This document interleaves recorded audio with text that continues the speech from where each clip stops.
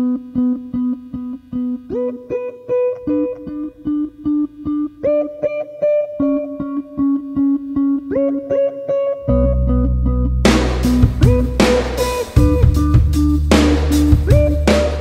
guys, I've got to really squeeze this video in, so I'm going to get straight into it. Okay, so it's a what's in my dock. First we have the Finder. This is a customized icon. It's just your average Finder, um, no cover flow because it's the Tiger version, but, you know. Um, next we have System Preferences. Again, the Tiger version. Down here, Application Enhancer, iStat menus. This is all this up here. Um, Perian. This is so I can use Tube TV. Shapeshifter for the themes. Um, sizzling keys show me what iTunes song is playing, and Smart Scroll to make the computer scroll like an iPhone. Um, next we have the dashboard. I'm not going to launch it; it'll take too long. Um, all the widgets and stuff. Again, customize icon. Mail. And whilst Mail is launching, I'll show you Safari. This is the new Safari 4 public beta. I think it's 4, Safari 4 public beta. Um, this is Alfred's stream here. No, I better not say recording a YouTube video. That's just be weird because they're probably talking about something. Um, yeah, you can tell it's the new one because the new tabs up here.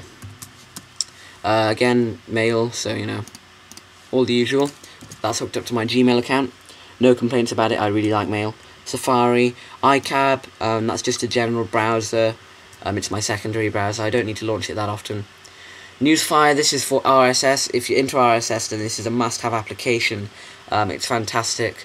If you want to know more about it, go onto my profile and click in my subscriptions or friends box or whatever. Uh, Dylan the Mac guy, and he's got an application overview of it.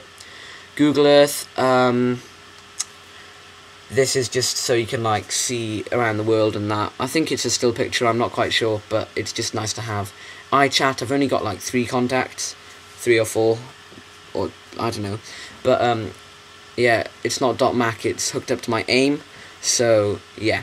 AIM isn't very popular in this country, so Microsoft Messenger, now this is popular in my country. Um, in the UK, it's just everybody loves it. I've got the two because this one is just much quicker and looks better, and this one has webcam and offline messaging features. Skype, I don't have many friends on there, but um, the ones I do have um, are great mates, and I talk to them pretty often, so. Twitterrific, this is my Twitter client, nothing special, just, you know, Twitter, no complaints. Actually, I'll show you those three. So, open at the moment we have Twitterrific, Skype, and AMSN. Um, transmission, my torrent client, nothing special, really easy to use. Um, I don't use torrents that often. Tube TV, this is what I needed Perian for to download YouTube videos. BBC iPlayer desktop, um, to download iPlayer videos, really good. QuickTime Player, pretty self-explanatory. Same with Real Player and same with DVD Player. Uh, VLC, play pretty much any media format. It's a pretty good little app. It's also free. Um, Audacity, it's just a simple music editor. Um, fade in, fade out. You can do a bit of recording. Here's the interface. Very simple, you know. This one of the first music editors I used. Um, iTunes, I love iTunes to bits. I can't get enough of iTunes. It's just my best friend, really. Um, GarageBand, this is iLife 08, guys. So we have GarageBand, iPhoto, iDVD, and iMovie.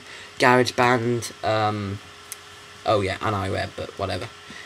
GarageBand, fantastic. iPhoto, don't do a lot with um, photos, but when I do, it's a pretty good app. iDVD, so simple to use, and I know this is, um, I'm saying it differently to how I did in the last video, but it's just fantastic. iMovie 08, it's rubbish. This, this is what I use for um, YouTube, and this is what I use for any serious. Lifetype should be here, but we'll sort that out again. Um, iWeb, really easy to use. iWeb sites, this is to manage more than one iWeb site. Photo booth, we'll just have a quick little look at what we can do. It's asking for cam twist, but there we are. There's me. um, next we have text edit, no complaints, just a lovely little notepad application, very speedy. Neo Office, I'm not going to launch it, it'll take too long. Um, very good application. It's for, it's like a free version of Word, PowerPoint, Excel and all that, so it's really good. I actually think it's better than the Mac version. Cam Twist, if you do use Stream and you have a Mac and you don't own this, there's something wrong with you. It's free, download it, it's really easy. iShowU this, my computer isn't powerful enough to use this, um, especially at HD. It exports whilst it's recording, which is such a stupid idea. Um, yeah, it just slows it down. So I use Screenium. Um, again, one of Dylan's recommendations. Screenium is just amazing. It does cost a bit, but it's really worth it. Handbrake. Um, this is to rip DVDs onto your Mac. It's 1245. It can be a bit dodgy sometimes, but you know. iRed Lite. This is to get the most out of your Apple remote. Seashore. Um, painting and photo editing. It's free. It's, a, it's like a really bad version of Photoshop. Uh, LiteIcon. Change the icons in the dock or in your Finder or whatever. Liquid Mac uses the built-in motion sensor on, on your Mac to like move liquid around the screen. Quinn, that's like a free Tetris game. Desktop Manager, this is Spaces for Mac, um, Spaces for Tiger. I have that on my channel, tutorial about it. Wake Up, this is just an alarm for your Mac. iCursor, this, um, my mate James recommended this to me. This is fantastic. Um, you probably can't see that particular effect, so, you know, you can just make stuff with your arrows and stuff. So that's really good. Uh, iAlertU, this is to use the alarm with the Apple remote. I don't use it um, in a real situation, it's just there for fun. Mac Tracker shows me how much RAM I can put in certain machines and that, really useful. App Zapper to completely delete applications off my Mac. ClamXAV is to get rid of um, Windows viruses from your Mac. I'm not sure how I pronounce this, Yasi or Yasi or whatever, but it just cleans up all your cache and Safari, cookies and stuff disk utility to repair disk permissions, partitioning hard drives, etc. And finally, for the applications, it's checkup. Um, I haven't launched it in ages because I used iStat menus up here, but um, checkup is a very good application. I have my applications folder here for applications that I need to access that aren't in my dock. Um, iTunes Music, so if I'm on a different um, desktop, I can access it quickly. And then my trash. Guys, thanks for watching. Um, that's basically my dock.